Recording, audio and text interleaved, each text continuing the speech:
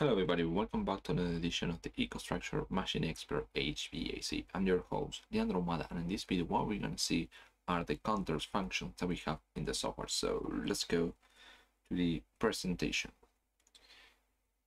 Just put the pen here. Let's start with the counters. So in the new version of the EcoStruxure Machine Expert HVAC, we have inside the basic and in counter folders all the different counters types that we have in the software.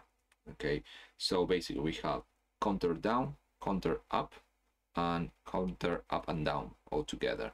And depend on the value that we want for the counter, we have different. We have for the double int or unsigned double int. And I believe this one is only for int, but we can see that on the software.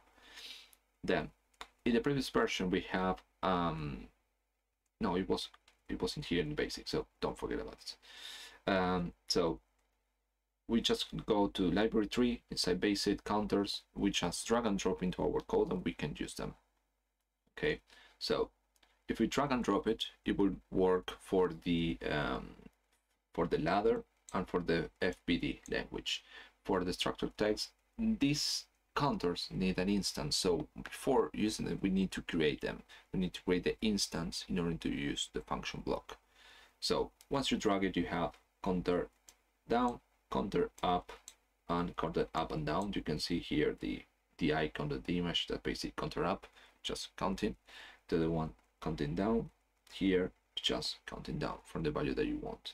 So you have load, a preset value, reset and preset value. And then you have the output. When it reached the value if I'm not wrong you can see that later. And then the counter the um, counter value okay? And here you have the res and load and preset value. Then if you want to have like an enable input and output you just right click in the block and then you can have the enable input and output on the block. So let's go inside each of these function blocks. So CTU counter up, okay, we have the boolean variable that it will give us the signal when we want to count up, okay. This one is going to be the reset value. So we move the value that we have, okay, imagine this over here, and then we just go to zero, okay, uh, when we reach the reset. And then the PV is the starting point, okay. So it is the preset that we're going to have. Uh, bum, bum, bum, Oops, I didn't want to go to that one. Sorry. So the opposite way we have the down. So we reach the value, okay, and then just counting down, which is going to be the load value, okay. Um, the low value that's going to be is the action, okay. So I have the counting pulses okay this case in this case decrementing the value. So what we need to do is to send a pulse in load. So the value that we have here already set it goes to the counter value. And then when I have this one the value will be decre decreasing. Okay that's the idea. And here the CTUD is a combination of both of them. So here we can see it much better. So um, these values or these diagrams I believe are from the software. Okay I didn't make them. So you can see here let's start with this counting up so uh, counting up yes. So here you can see the output. Okay that's going to be activated when we reach the same value for the PV and the PV okay so here I have the R for the reset. Okay so it will reset the value. You can see it goes to zero. This is going to be zero. So it reset, see the command, it reset the counter value. Now I have an increment. You can see here is going one up. And here have another one is increasing and this one is increasing. In this point, the CV is equal to the PV. That's why here you have the Q activated, which is the output. Okay. and then here in this particular case now I have the reset value. Okay you can see I have another one. It doesn't increase because it reached the limit. And then here the Q is still on until I have the R a pulse the R to reset the counter value to zero. This is how it works basically um, the counter down you can see here load okay. It will move the PV okay this is equal the PV it says PV in there to the CV value okay so this point is equal. And then in every time I, I decrease okay it just decrease one the counter value. And here you can see that when it reaches the value zero okay if the Q is activated meaning that I reached the point. And then the CTUD is a combination of them. Okay so basically if I load I load the value that I want okay and reset it reset it. And then you just count it up and down depending on what you have. Okay and you have two different outputs for up and down when you reach the values. Okay up and down. So uh, let's try to use this in the FBD and then we're going to use it on the ST language. So let's see if I have something already created. Okay I have this. I'm going to spoil this data but don't worry. So let's create a new top long here. Basic counters.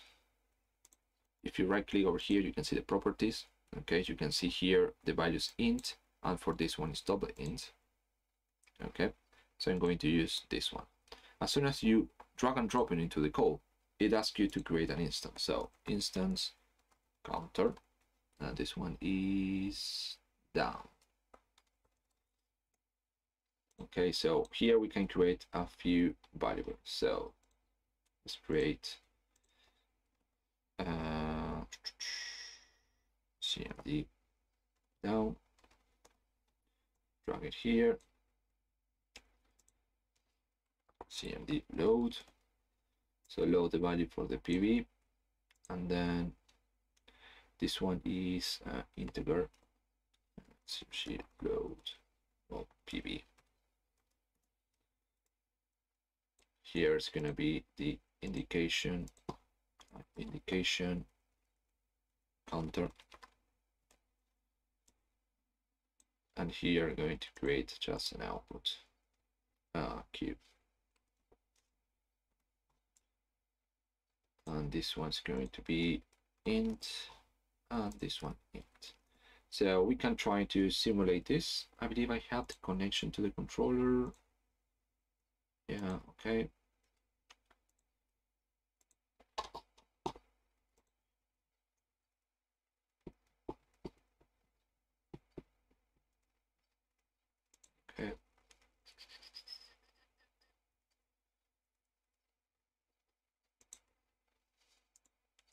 Let's minimize this and go to the So what I'm going to do is specify the value to decrease. So it's going to be 10 in this case. Okay, As you can see the load hasn't been moved to the counter value until I use this one. you can see it reached the value load and it hasn't reached the limit the load limit is zero so now i'm going to use this to count up to down in this case you can see one eight.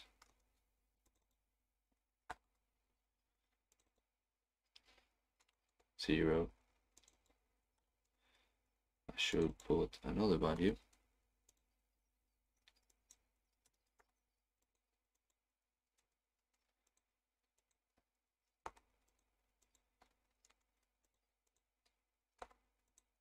Just want to show you when it reach zero what happened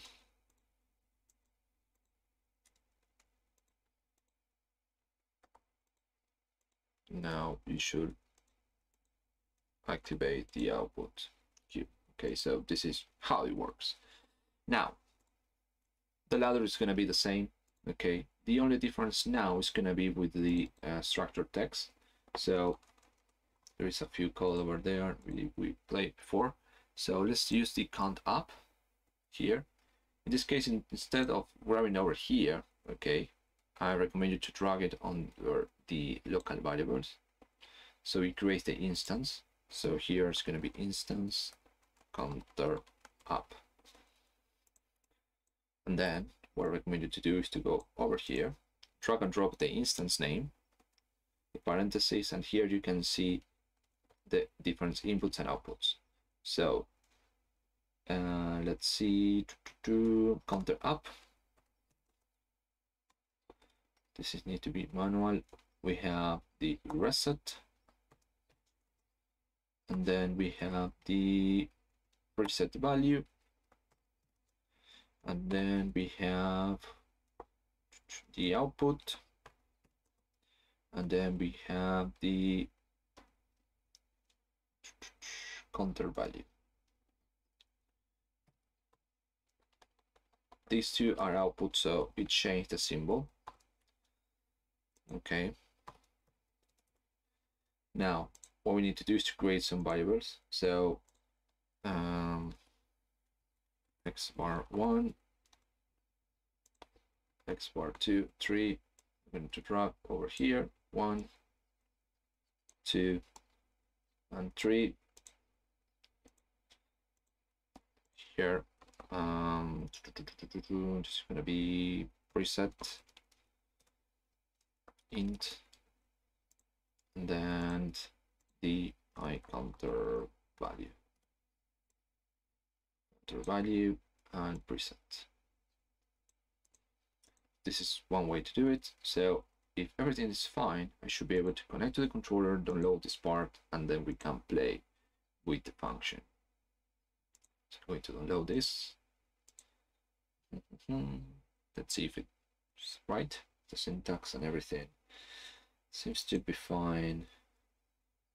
Okay, good. Loading, brilliant. There we go. So here we can see a few more things. So the preset value, I'm going to enter the value as uh, 5. Okay, so you can see one. Ah, I forgot here to change. This is going to be this is my bad here. It's going to be int otherwise we cannot see anything. This is one way to do it. Uh, let me just create another variable so we can see it. Uh, counter value to int. Because you cannot see the the output so you can use the instance name as you have before. And then with the dot, you can access to the inputs and outputs. In my case, I'm going to use the counter value. So we can see the value here, right? And use this local part. It's just one way to do it um, by create a different value. So let's do it again.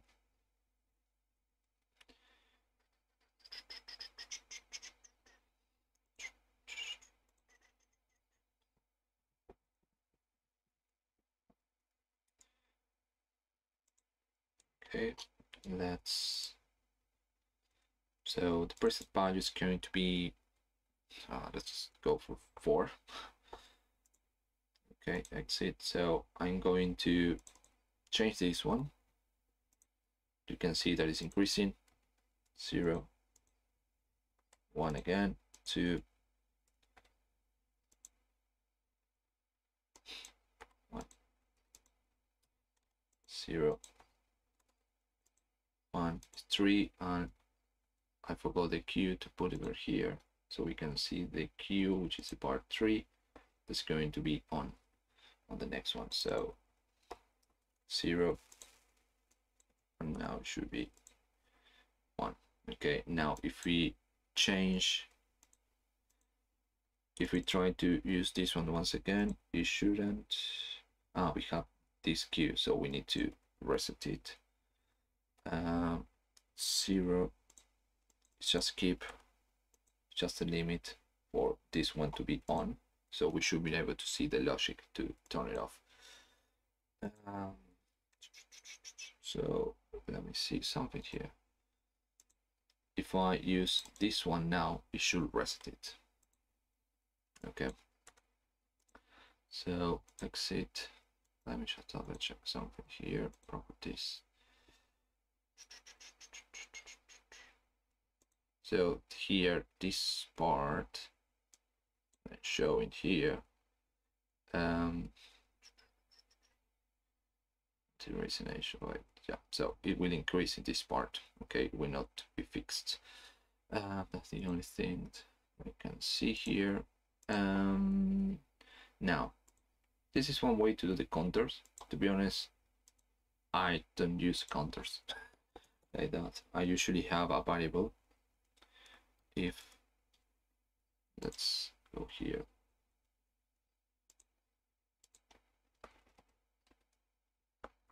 One.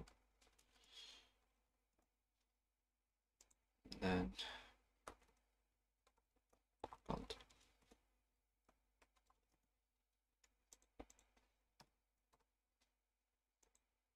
if manual then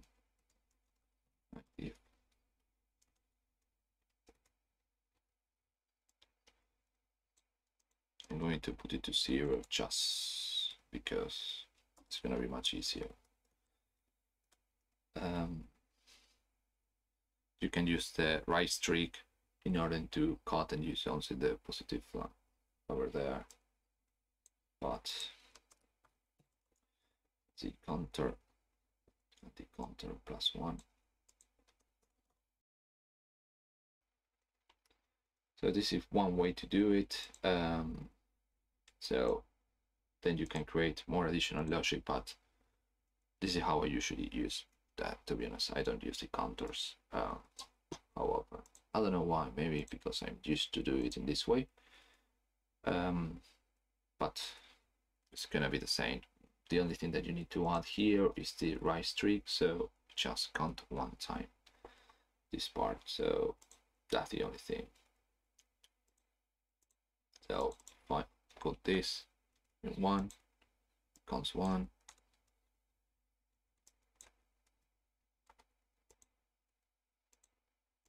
Okay just do the same. And you can do the other opposite way in order to decrease it this is one way to do it. Um, let's go to presentation and see if we forget something.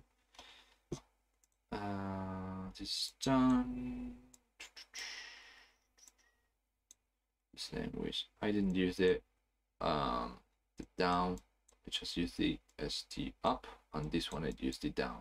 Okay that's the only difference but the idea here is to show you that we have counters okay you can use them in any of those languages that I showed before they are quite easy. You just need to remember to reset the counters. For example, you're using the app when you reach the limit that you have defined it.